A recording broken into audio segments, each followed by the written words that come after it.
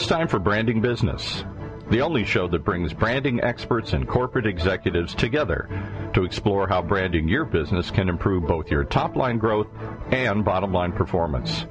Brought to you by RiechesBaird. And now here's your host.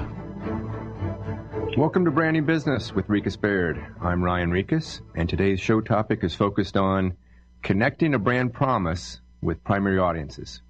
We're very lucky to have one of the leading authorities on the topic, Dr. Joseph Michelli of the Michelli Experience. Joseph is an internationally sought after speaker, best-selling author, organizational consultant who helps companies transform their workplaces to a focus on a total customer experience. You might have heard his name before. He um, has a number of books out. His latest is Leading the Starbucks Way Five Principles for Connecting with Your Customers, Your Products, and Your People. His other best selling books include The Zappos Experience Five Principles to Inspire, Engage, and Wow, Prescription for Excellence, leadership book with UCLA Health System was actually a number one New York Times bestseller. The New Gold Standard in collaboration with the Ritz Carlton. And I think it's important to say this is Joseph's second book covering Starbucks. And I'm sure we'll hear more about that in a moment. But uh, let's get on with it. Joseph, welcome to Branding Business. Well, you missed my most important credential. I've worked with you, and I've had the good fortune of seeing what you guys do in brand space. So uh, that that's what you should have hit on right there. Well, we could talk about that. well, yes, we did enjoy that experience, and uh, I think we share a lot of the same uh, philosophies and ex- and experiences of how a brand is brought to life through its employees, and then ultimately, of course, achieved success through the uh, the experience with the customers. So yes, we definitely enjoy working together. And um, well, let, us get into this new book. I know it's what launched uh, the last couple days. So um, let me ask the question: Why did you choose to cover Starbucks again? Wow! First off, they helped me get my kids through college the first time around, so I couldn't miss the chance to do that again. Actually, the truth of the matter is, this brand's really different than when I last visited them.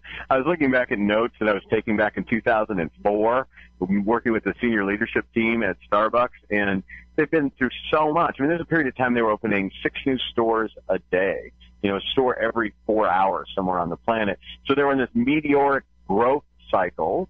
And then there was the global recession, and the brand laid off people and retooled some of its product and had to really rethink their turnaround strategy. So coming back and visiting the brand now at a different point in its maturation was a pretty exciting opportunity to teach people, I think, something other than what it takes to get catch fire as a brand. It's really about how do you sustain yourself over the long haul. So you're right. In 2004, Schultz had left, and uh, when he came back in 2008, so a lot had changed there.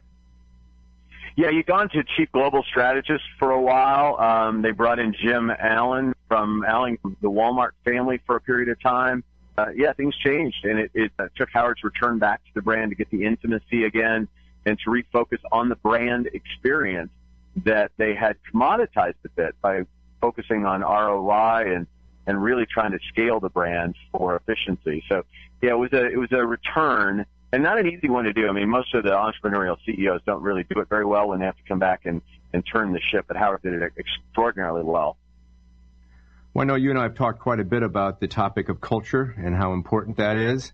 And I know uh, that was a key component of changing this brand, evolving the brand. And I remember reading that uh, it was uh, Schultz who said this isn't a change in our business strategy, but really more of a, a love and nurturing. And, and he demonstrated that even back in 2008 by taking 10,000 of his top people to New Orleans to um, work together and and help uh, rebuild New Orleans after Katrina. So I mean, it's just another example of, of culture and then leadership at the same time.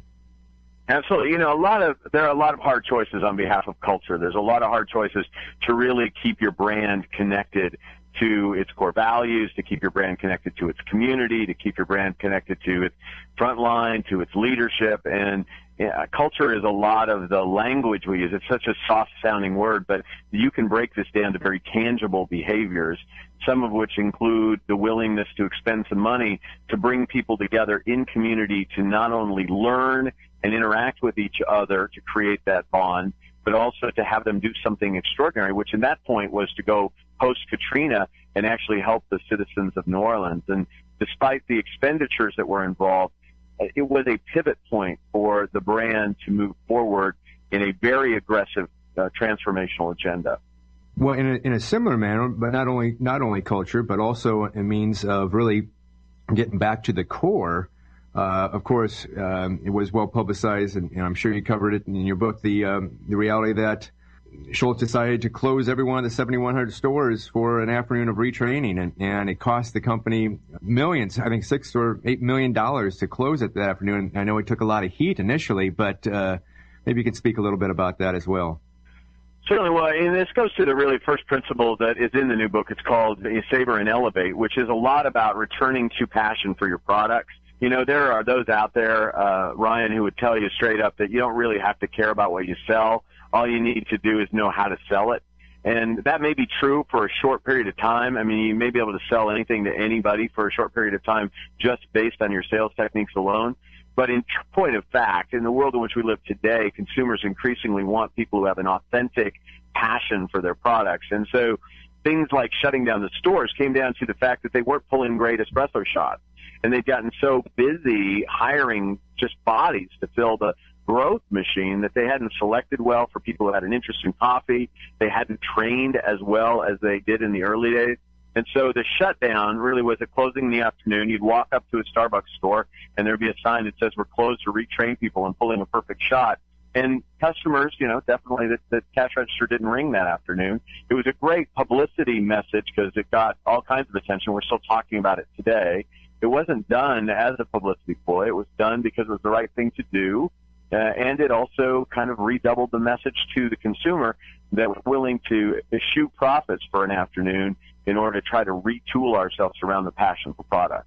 Well, you're absolutely right. It was a bold move. It was strong leadership and it really getting back to the core of their business. And it wasn't about shifting a, major strategic shift at all. It was really getting back to the core and and what uh, not only the product but also the experience, the quality of the experience as well. So you're absolutely right. We're still talking about it today. What is it, four years later? So powerful message internally and externally. And, and as you know, and we work together, we build the brand from within. That's our philosophy. Is that you don't? Yeah, you do build... it. I mean, I can I just say this because I, I I'm here three days after the launch of the book.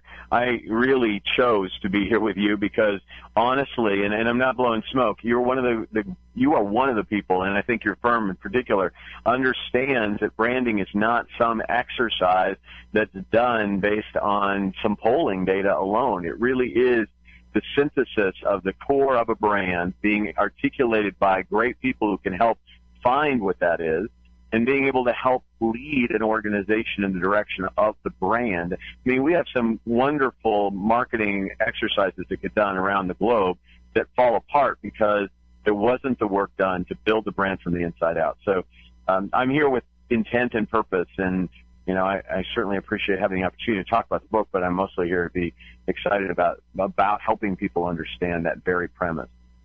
Well, I appreciate the feedback and, and compliment, Joseph. And the reality is, you're absolutely right. Build the brand from within, build it upon the strengths. Uh, if you just do research, uh, people only know what they know. They don't know where you're going. They don't know where the organization has potential, and sometimes you have to figure that out and overlay that, of course, with what you're really great at so that you can move the perceptions forward because you can't have a brand uh, living upon old perceptions. It's just not going to take them forward at all. And uh, I as well greatly appreciate your time today. Uh, I know the book's just launched, what, three days ago. I haven't even had a chance to, uh, to break into it yet. I have your outline. I'm going to ask you a few more questions about it, though. So um, I, I, just find it fascinating. I've read every one of your books and, and apply them to our, our world. As you know, um, we are primarily focused on B2B, so some of your examples are B2B, B2B some are, are B2C. I'd like for you to address our audience with that in mind. So, well, you know, Starbucks is a B2B business too. I mean, I think we always think of the B2C side of the business, but let me give you a sense of what Starbucks does on the B2B side. So they have a food service side. So Starbucks on that side of the business is offering training and marketing and merchandising expe- expertise along with the actual equipment and a whole portfolio of beverage products, whether that's brewed coffee or hot and cold espresso beverages. And they're doing that in the food service sector. So they are sourcing the restaurants of the world that are serving Starbucks. So they are in the B2B space. If you go to a conference anywhere, you're likely to go to a break station and there's likely to be a sign that says, we proudly brew Starbucks coffee. That's an example of it. They're in the licensed store space. They're helping stores like Kroger's and Vons and Safeway, the large supermarket chains, own and staff and operate those physical stores and the kiosks under the Starbucks approved license. Um, in addition to that, they have licensing agreements where they're working with actual product vendors. So they're in a uh, North American coffee partnership agreement with PepsiCo of North America, and they're providing the ready-to-drink products like Frappuccino blended uh, beverages that you're likely to get, or Starbucks double shot espresso drinks. They're in joint venture agreements in the B2B space. So Starbucks leadership is working with people in other countries to be successful in some of the joint ventures, particularly in places like India, where they, along with Tata India, are joint venturing to be successful in delivery of coffee products in that country. And because of that, we spend time in the book looking at how similar are the principles used in developing a B to C connection and a B2B connection with customers. And there's a great deal of similarity and there's some really striking differences. And those in your audience who are in the, the B2B space know that a lot of the differences have to be how, how slow decision making happens up front, how long the, rela- the relationship incubation cycle is. It also, though, on the backside, the benefits are often the stickiness of the relationships in the B2B, the data driven nature of it. So if you can prove your value, you tend to stay around. Whereas in the B2C, it can be such a capricious one day they love you, the next day they, they're not with you kind of relationship. So we talk about both the similarities and the nuances, but this is not purely a B to C play. I think that was a perfect summary. Thanks for clarifying that. I think often people only associate to that consumer component of a brand, but often, as you outlined, there are many different distribution strategies that uh, exist, and those need to be nurtured, and those are often based upon um, relationships, as, as, you just outlined, and um, you know the consumer pull through is important, but the B2B component of it is is critical as well, and be able to understand that there are uh, longer sales cycles. There, um, it, it's not a commodity purchase, if you will. There are many choices and many options, and um, and the the brand promise, whether it's B2B, B2C, needs to overlap, but each are therefore individually important and might have different nuances to them, but under one overarching brand promise. And, Amen. Uh, and you know, the end play is that in the B to B space, most of the time, the consumer, the consumer of those goods, that other business is looking to be successful. They're looking for you to make them smarter and more effective in the marketplace. They care about your thought leadership. They care about some things that maybe they don't care about in the consumer space. But in the end of the day, it's still about relationships and helping the customer, whatever that looks like, be more successful over the long term. Mm-hmm. Well, let me shift you a little bit of gears here. I always ask our clients, the CEO, uh, uh, and executive leadership team, you have three audiences your employees, your customers, and shareholders. Who do you place first in the priority list? And uh, it's interesting. I get a variety of answers to that, and of course, I have my own opinion. I'm, uh, you and I, I'm sure probably share the same opinion here, but um, Maybe you want to speak a, a, little bit about that. It's a total bogus question. I'm telling you, I push back really hard on it because every time I get into this discussion with people, it, it, it really, it's totally irrelevant. Which of your children do you love more?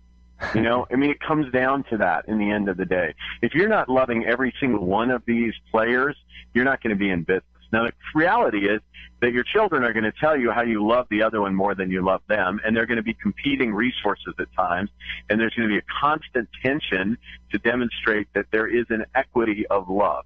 Without one, the other doesn't prosper. I think Starbucks would say that they make the bulk of their decisions from the standpoint, the lens of their employee, um, but the lens of the customer is critical, and so is the shareholder. I think ultimately the shareholder should be caring most about the profitability of the brand and less about the tactical decision making. I mean, if you fail to deliver the profits for the shareholder, then they have every right to question everything about you and pull you out of your functioning role.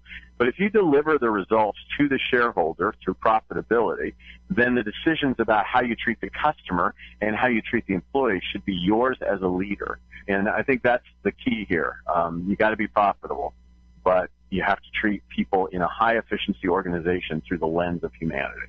Agree with you, and uh, you're absolutely right. The result is happy shareholders. How you get there is through anticipating what your customers want and how it's delivered is through the employee. And I think in my mind, you have to kind of think about it in that manner. And it sounds like we're on the same page. So, well, you know, let me ask I you a question. You and I would agree. I mean, you know, Drucker said it best. We're in business to create a customer. I mean, there's no doubt about it. And you have to treat employees well if you really want those customers to show up and stick around. Yeah. And the, and the customers know how to deliver your brand promise and how they're all aligned. And, and so that gets me to the next question is, you know, every organization goes through change, and that's often when we're brought in to help um, crystallize um, that change and, and, develop a new brand promise for the company of where it's going. Your work is involving change constantly, and so can you give some best practices on, on how you help an organization go through change and how you uh, how the employees um, accept change and then how they really are able to deliver it? Well, you know, it starts with a fundamental belief that people want to be seen and they want to be heard. So if you take the time up front to try to access what people think and feel about the important issues that you're trying to change, you're way ahead of the power curve. I see so many organizations trying to push change down through the ranks, having never spent the, the time to, to really assess what's going on. You know, Paul Tillich, the philosopher, said the first act of love is to listen.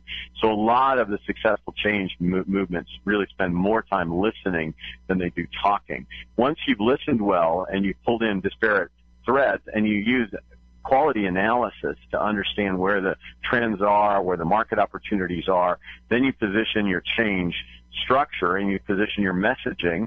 You keep a constant and consistent hand on the messaging. You find your change agents, those who are formally tapped and those who de facto move change in your organization.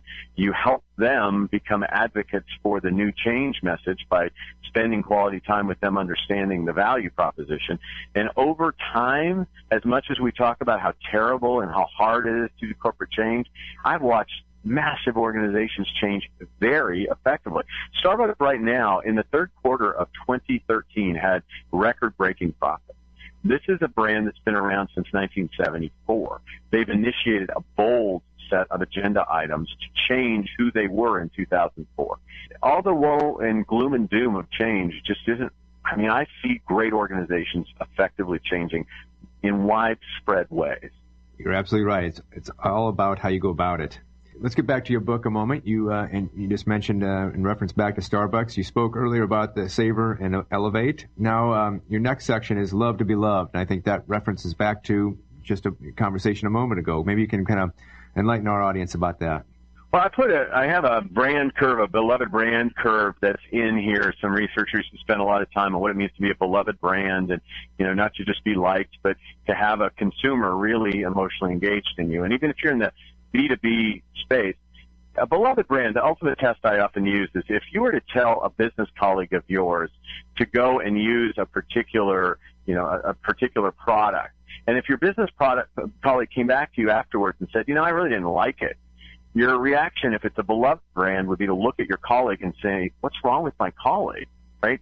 I mean, you would assume that your colleague has a defect before you would actually believe that the brand you sent them to has a defect. Your experience is so, so connected even through your identity to what this brand is delivering that you would not think twice about the brand as having a, a breakdown. And I think that that chapter is all about what it takes to take your customer above that level of respecting you, which is a lot better than just thinking you're competent, taking you up to that notion where they're proud they made the choice to pick you, and even up to that higher level of true passion. I really genuinely care that you are successful. You source me so well that I can't imagine a world without you.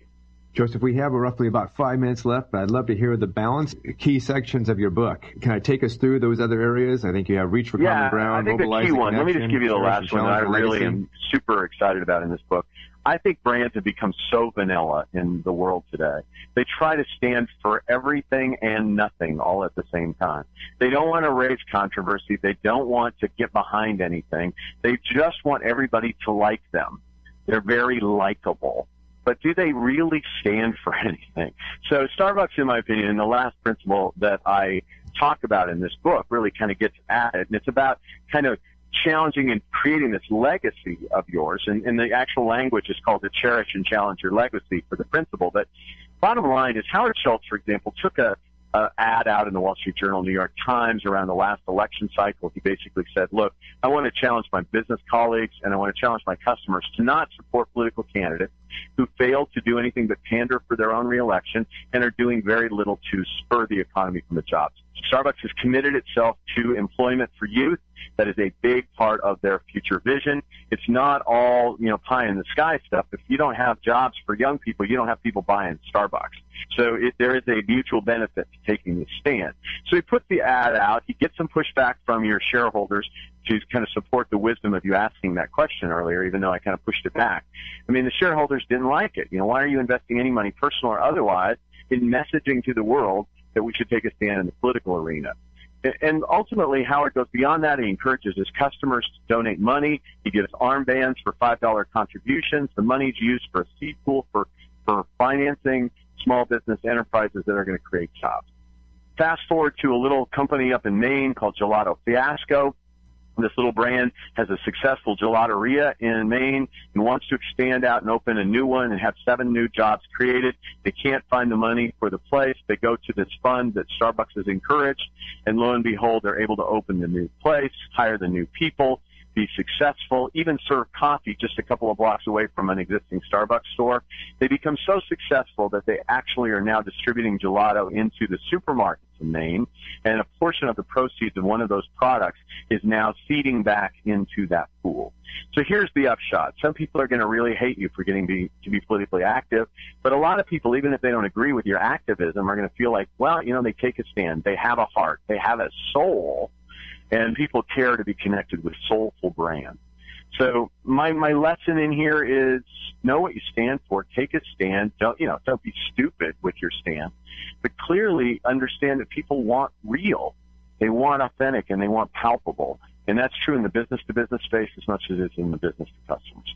Well, I couldn't agree more with you. You have to take a stand. You have to stand out. You have to be known for something. Otherwise, you just fall for everything. And uh, every every beloved brand is known for one thing, and that doesn't mean you have to be liked by everybody. Only those that matter, and those are your key customers, your core audience, and that's really where the focus should be.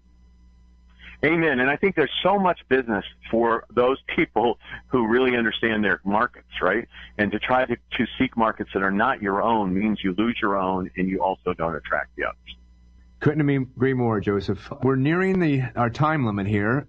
Any final thoughts or insights to share with our listeners?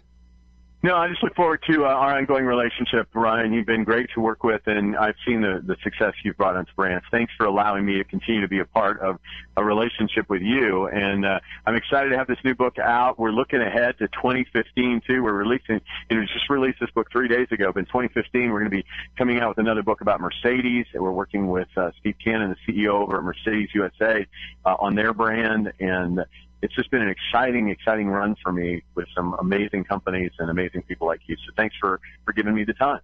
Well, thank you, Joseph, and um, really appreciate your insights today. I was going to ask about your new book, but then again, knowing you, I, I figured you already had it in the works, so uh, I'll look forward to that one as well. Hey, if our listeners have any questions of you, how could they best reach you? Is um, website or email?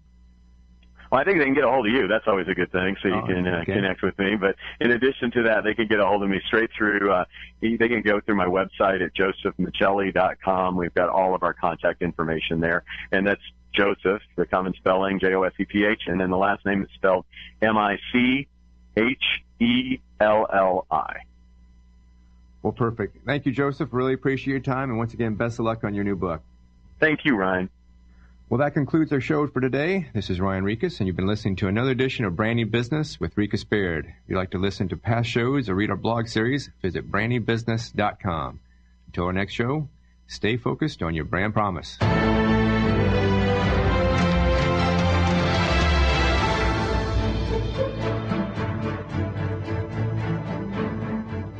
You've been listening to Branding Business, the only show that brings branding experts and corporate executives together to explore how branding your business can improve both your top line growth and bottom line performance.